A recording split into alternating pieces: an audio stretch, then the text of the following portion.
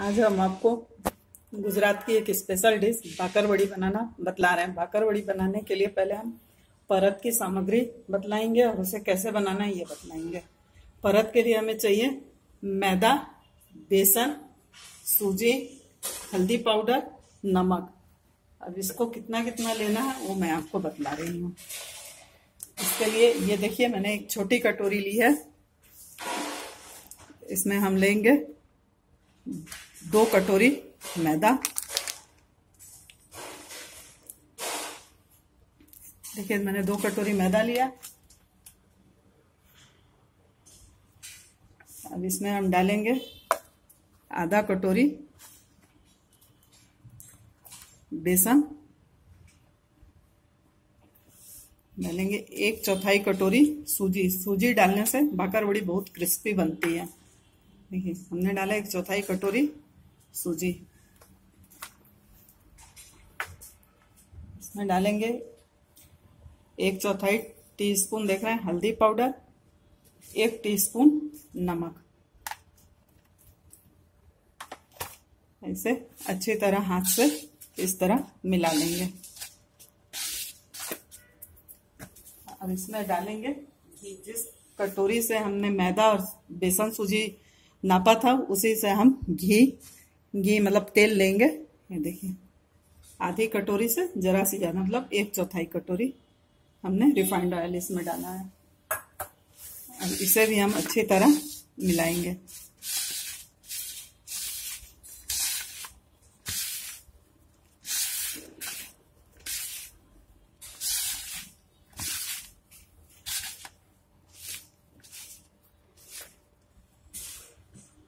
ये देखिए, इस तरह हमने इसमें अच्छी तरह से मैदे, बेसन और सूजी में घी मिलाकर एक सार का कर लिया है। अब इसको पानी डाल के इसका आटा लगा लेंगे। पानी हम बहुत थोड़ा थोड़ा हाथ में लेकर डालेंगे, नहीं तो ये गीला हो जाएगा तुरंत। देख रहे थोड़ा सा हाथ में पानी लिया और उसका इस तरह से हम उसको गूथ लेंगे। जैसे हम पूड़ी का आटा लगाते हैं, बिल्कुल इसका आटा भी हमें उसी तरह लगाना है। देखिए, फिर थोड़ा सा और पानी डालेंगे। इसको।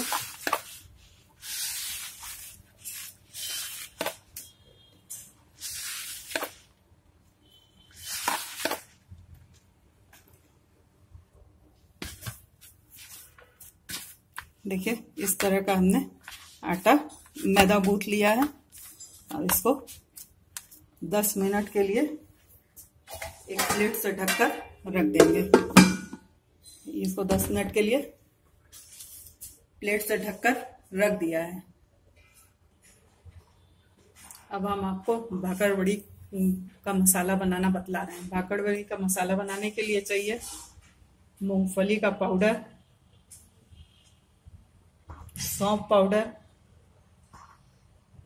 धनिया पाउडर पुदीने का पाउडर, जीरे का पाउडर, अजवाइन का पाउडर, लाल मिर्च पाउडर, तिल का पाउडर, हींग, काला नमक,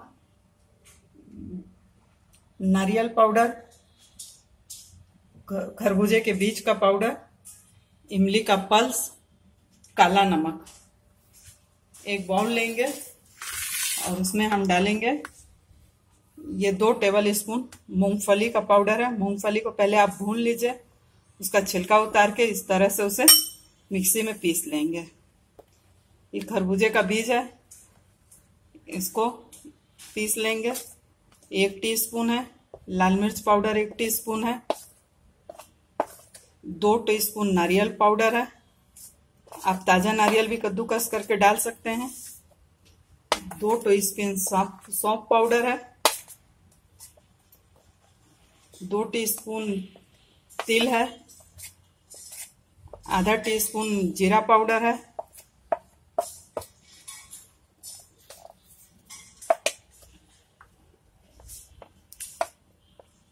एक टीस्पून पिसी धनिया पाउडर है, आधा टीस्पून पुदीने का पाउडर है, एक टीस्पून अजवाइन है। ये सबको मैंने मिक्सी में डालकर पीस लिया था। अब इसमें हम डालेंगे काला नमक। नमक थोड़ा कम डालेंगे, क्योंकि परत में भी हमने नमक डाला, इसलिए हम इसमें एक टीस्पून नमक डालेंगे। और इसमें हम डालेंगे एक टीस्पून हींग का पाउडर। ऐसे अच्छे तरह चम्मच से हम मिला लेंगे। इसको, ऐसे चम्मच से मिला लेंगे।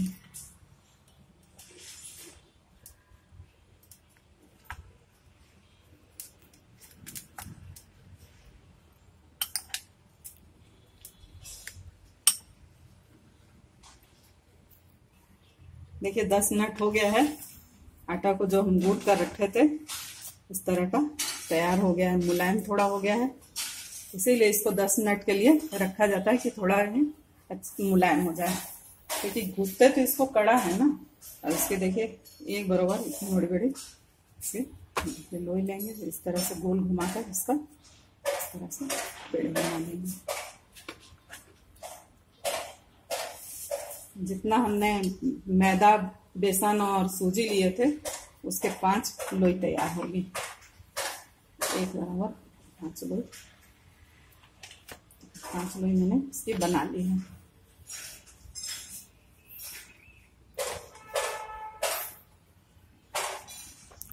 इसको हम दे लेंगे। बहुत हल्का सा मैदा इसमें डस्ट करेंगे, सूखा मैदा इस तरह से इसमें डस्ट करेंगे।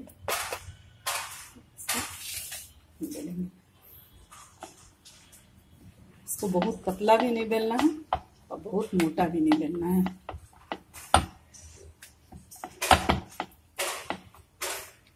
तक हम भाकर वड़ी भरेंगे, तैयार करेंगे। तो गैस पे कढ़ाई रख के तेल गरम करने के लिए रख देंगे।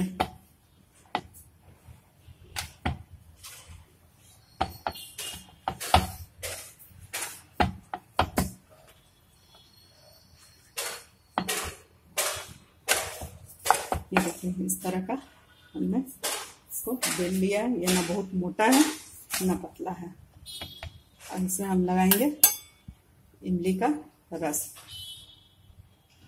इमली को आप पानी में भिगो दीजिए और उसको छान कर इस तरह से उसका रस निकाल लीजिए। इसको लगाने से क्या होता है? जो हम भागर उड़ी का मसाला लगाएँगे, वो अच्छी तरह इसमें चिपक जाएगा। इसमें हम जो मसाला तैयार किए थे, वो इस तरह से लगाएँगे। इसको उंगली की सहायता से। देखिए, इस तरह से मसाला चारों तरफ़ पूड़ी के फैला लिया है। उसको धीरे धीरे हम ये रोल करेंगे, ये ऐसे छोटा छोटा पीस लेंगे और ऐसे अंगूठे से ऐसे दबाते जाएँगे। इमली का रस लगाने से मसाला अच्छी तरह पूड़ी में चिपक गया है। देखिए, इस तरह इसको रोल करते हुए ऐसे बीच से भी ऐसे उंगली की सहायता से दबाते जाएँगे। हर मोड़ते जाएँगे, रोल करते जाएँगे और उंगली से हम दबाते जाएँगे। देखिए।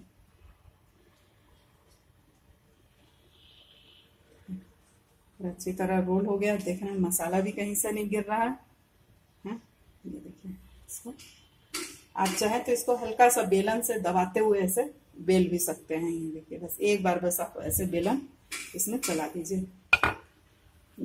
आपका ये भकर बड़ी का मसाला कहीं से भी नहीं गिरेगा और इसको काटने में भी बहुत आसानी रहेगी। और इसको हम काटेंगे।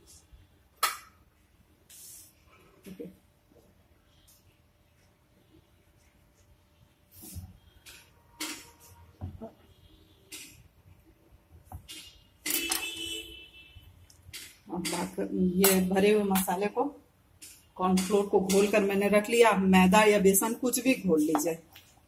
इस तरह से मैंने कॉर्नफ्लोर घोला है। और इसको, ये कटी हुई भाकर बड़ी को इसमें, इस तरह से सबको हम एक साथ ऐसे रखकर डुबा दिए हैं। पहले से गर्म तेल में हम इसको, तेल पहले बहुत तेज गर्म कर लेंगे, उसके बाद गैस की आँच को कम करके ये कॉर्नफ्लोर में डूबी हुई, भाकर बड़ी को एक एक करके डाल देंगे।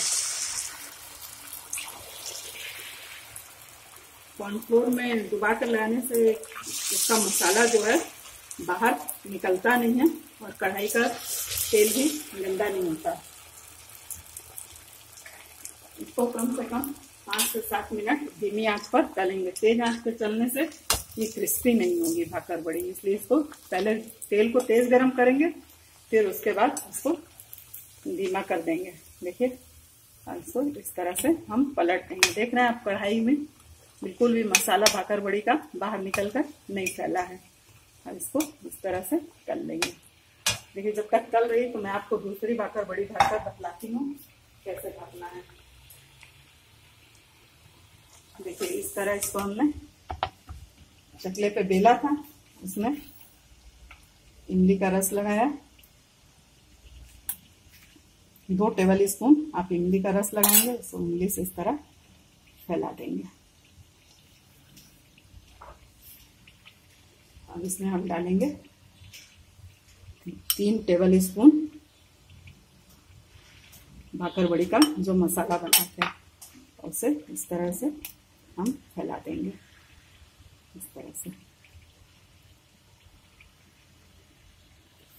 इसे भाकर बड़ी में चीनी पड़ती है परंतु तो बहुत लोगों को मीठा पसंद नहीं है और मुझे भी पसंद नहीं है, इसलिए हम इसमें चीनी नहीं डालें। यदि आपको मीठा पसंद हो तो आप इसमें दो टेबल स्पून चीनी पीसी हुई डाल सकते हैं। देखिए, अब देखिए इस तरह से इसको हम फोल्ड करेंगे उंगली से दबाते हुए।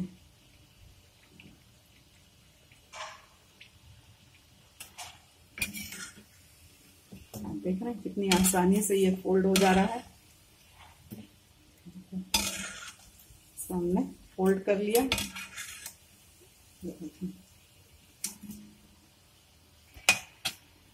ऐसा करके। हल्का सा बेल लेंगे इसको काट लेंगे।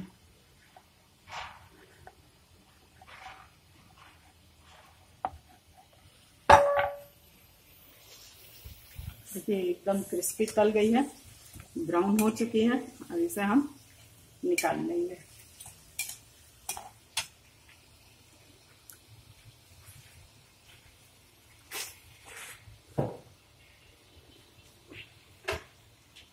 इसको हम किचन टावल में निकाल लेंगे, इस तरह से साइड में कर देंगे, ताकि अतिरिक्त तेल इसका कढ़ाई में ही निकल जाए।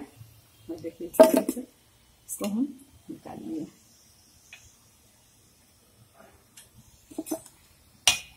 इसी तरह हम सभी भाकर वड़ी को तैयार करके तल लेंगे। गैस को बंद कर दिया। अब इसकी हम अच्छे से प्लेटिंग करेंगे। देखिए, जो हमने भाकर वड़ी तली थी, उसको मैं आपको काट के दिखलाती हूँ कि कितनी अंदर से क्रिस्पी है। ये देखिए, ऊपर से क्रिस्पी और अंदर से बिल्कुल सॉफ्ट हो रही है, ये देखिए। भाकर बड़ी बिल्कुल इसी तरह बनाई जाती है।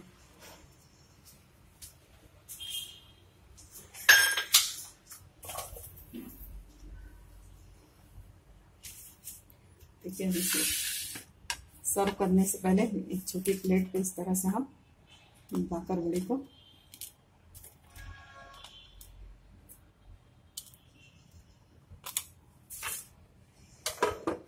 भाकर बड़ी बनकर तैयार है। यदि आपको अच्छा लगे तो आप लाइक कीजिए, शेयर कीजिए और मेरे चैनल को सब्सक्राइब ज़रूर कीजिए। और इससे संबंधित कोई भी जानकारी चाहिए हो तो मुझसे आप कमेंट करके पूछ सकते हैं।